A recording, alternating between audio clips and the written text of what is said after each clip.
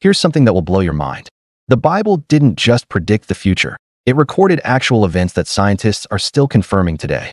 One of the clearest examples is found in Amos 8 verse 9, where God says, I will make the sun go down at noon and darken the earth in broad daylight. Now, that sounds exactly like a solar eclipse, right? Well, scientists confirm that a massive solar eclipse actually happened in 763 BC. That means almost 2,800 years ago, the Bible was already pointing to an event that history and astronomy later confirmed. Let's think about that for a second.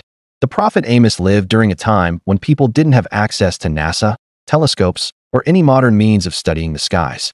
Yet, he recorded a word from God that perfectly describes a solar eclipse, something only science could confirm thousands of years later. According to historians, Assyrian records also mention a total solar eclipse that occurred during the same period, on June 15, 763 BC. This was such a significant event that they used it as a reference point in their history. So both the Bible and ancient historical records line up, and science today confirms it really happened. This shows us two powerful truths. First, the Word of God is not just spiritual, it's also historically and scientifically accurate. Second, when God speaks, His Word stands the test of time.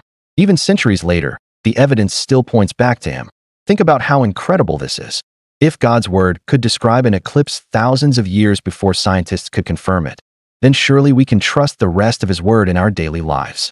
His promises, his warnings, his guidance, they're not just nice words, they are true and reliable. So the next time you look at the sky or see an eclipse, remember this moment in Scripture. Remember that God is in control of the universe, and his word is always proven true. If this amazed you, don't keep it to yourself. Go ahead and hit the like button Share this video with someone who needs to see how powerful the Bible really is, and subscribe so you don't miss more incredible Bible facts like this one. The Bible is alive, accurate, and unshakable, and this solar eclipse from 763 BC is just one of many proofs.